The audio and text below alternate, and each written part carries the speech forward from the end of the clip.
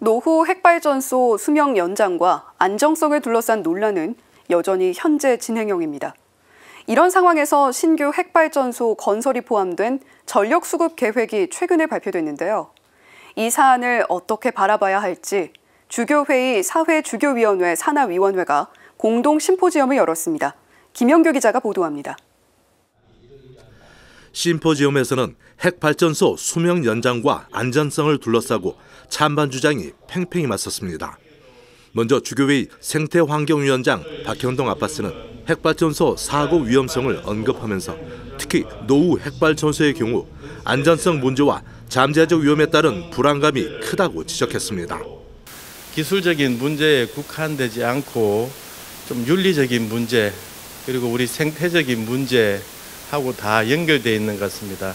그래서 직접적으로 우리의 삶과도 밀접한 연관을 맺고 있는 그러한 문제인 것 같습니다. 한국 원자력 연구원 백원필 박사는 우리나라 원자력은 안전한 준국산 에너지로서 에너지 확보와 기후변화 대응, 산업 경쟁력 유지, 그리고 에너지 복지에 필수적이라고 찬성 입장을 밝혔습니다.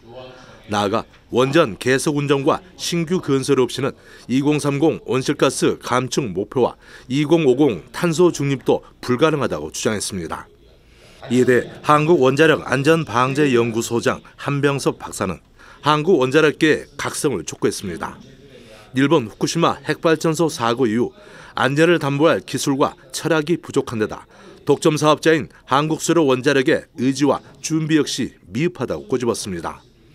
전문가 시민단체인 원자력 안전과 미래 이종윤 대표는 한 손으로 집중되는 패권적 원전산업 지배 구조를 지적했습니다.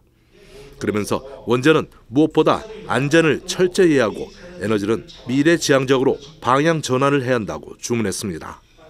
원전은 줄어들고 재생에너지는 늘어나고 이게 세계적인 트렌드예요.